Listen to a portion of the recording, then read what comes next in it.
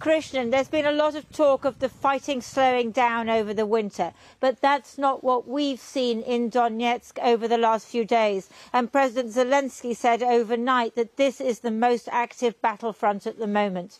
In the town of Bakhmut, there is street fighting. Across the steppe, the agricultural land, there are artillery duels. There are machine guns active all the time. And as we found out, in the trenches with Ukrainian soldiers, Russian snipers as well. Not the Somme, but Donetsk. Not 1916, but now in the 21st century. Ukrainian soldiers trudging through the splashing mire of the trenches. This is how it will be all winter, through rain and sleet and snow, inches of territory lost and gained. Enemy for 500 meters of our. So the enemy is just Yeah. 500 meters Yeah. away. yes, That's not very far. yeah, Bit too close for comfort. yeah. Every soldier Yeah. have, have his fighting uh, place. Vadim shows me a firing position. in every room. And fighting. And fire, yeah. Yeah. If we have artillery fight for us, we have. The soldiers rotate every two and a half hours and at times get barely any sleep. We have superpower. You have what's your Yeah. superpower? I'm Ukrainian. The commander leads us further into the warren. Треба зараз цей участок, воно до того копа, побистрій перебігти, тому що... and tells us we have to run across a stretch of open ground left so tanks can pass between trenches. The trees have shed their leaves, so there's no cover.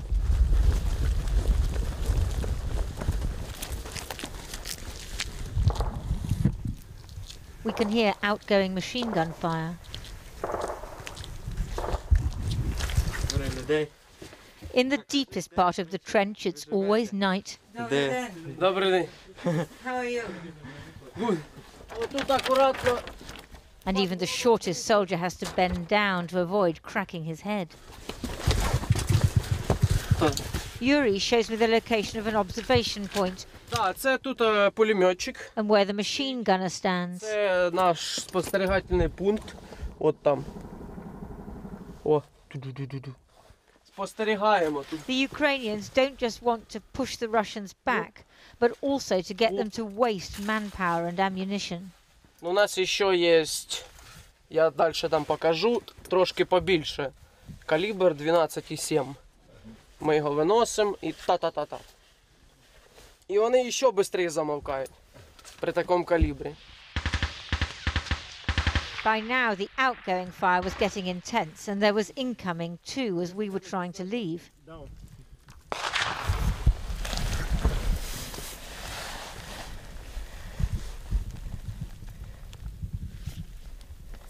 We've just heard sniper fire overhead.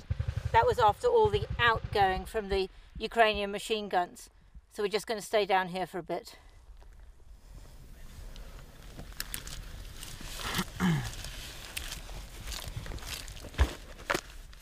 Пасе. Він тільки що тут. А ну давай вліво тут, а накрий їх пулеметом, пожалуйста. І з ДШК може туди поработай. Коротше, тільки що йшов. І якраз отут, отут він дивиться сюди. So we wait. Listening.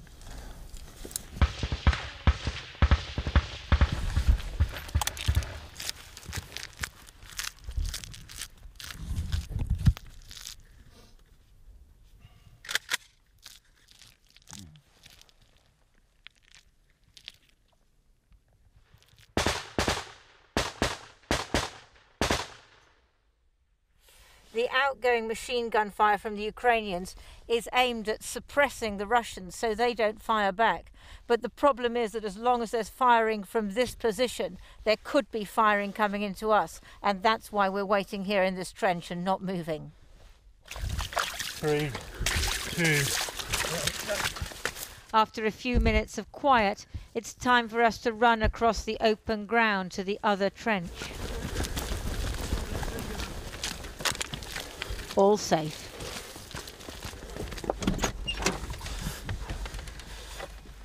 And now down into the safety of the soldiers' sleeping quarters, which are warm and cosy, a necessity not a luxury, because they need to keep Kit dry. And Vadim has a companion. We have a friend. no.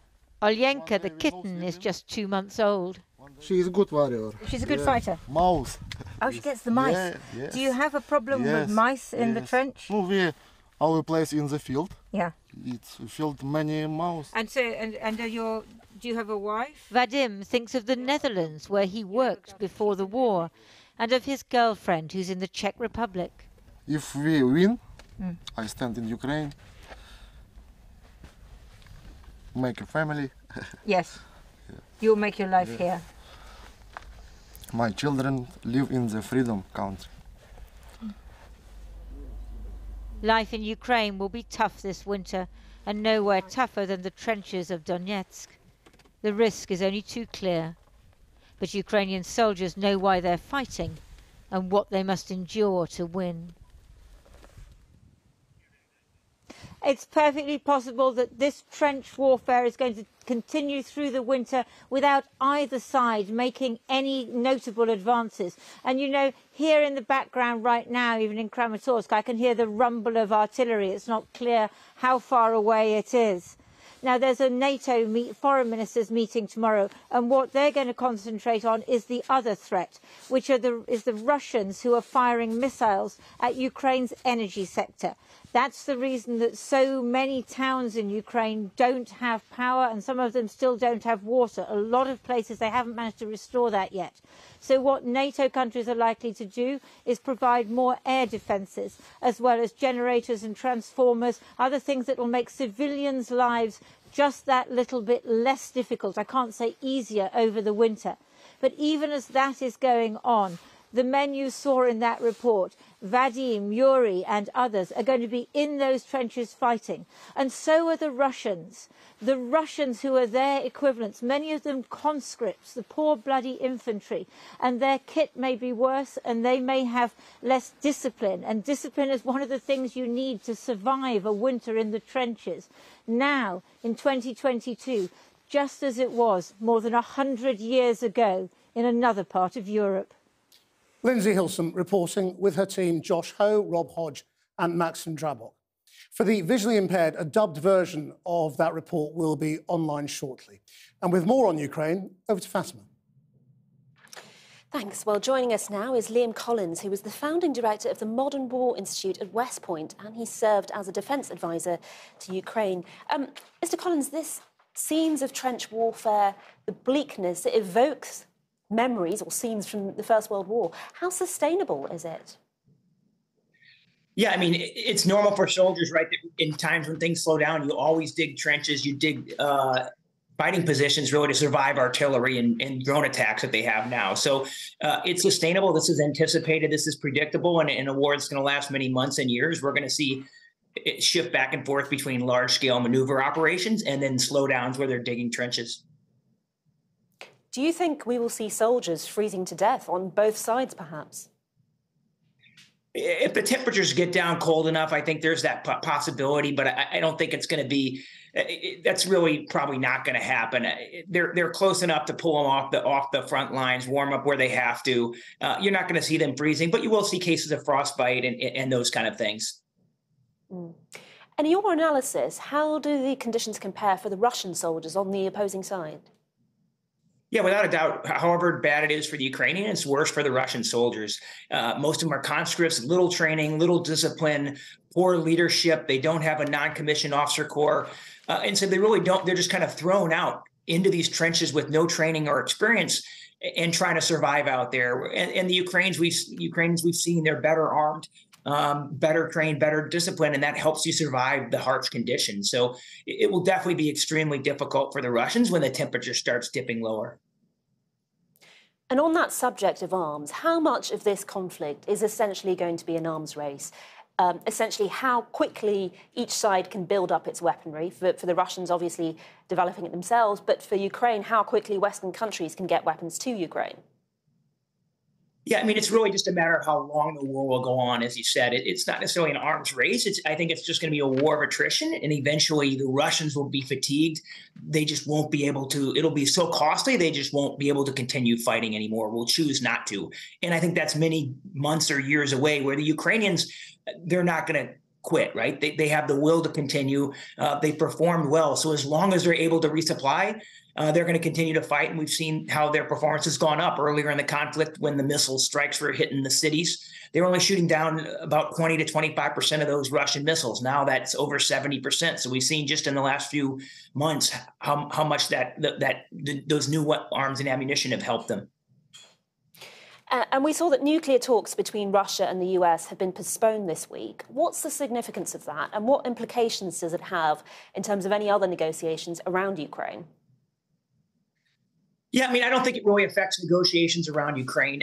I think most of those. It's good to have that that the openness and communications for negotiations, but neither side there's no overlapping agreement that can be reached. Russia's not going to just quit with what they have, and Ukraine's not going to allow Russia to keep the territory that it currently has. Because if we saw after eight years, they never got the Donbass back. So Ukraine's not going to enter any agreement that allows Russia to keep territory. And as of right now, Russia's not going to into an agreement that doesn't allow them to keep territory. So that's why it's going to drag on. And, and most of these negotiations aren't going to lead anywhere. Okay, Liam Collins, thank you very much for joining us tonight.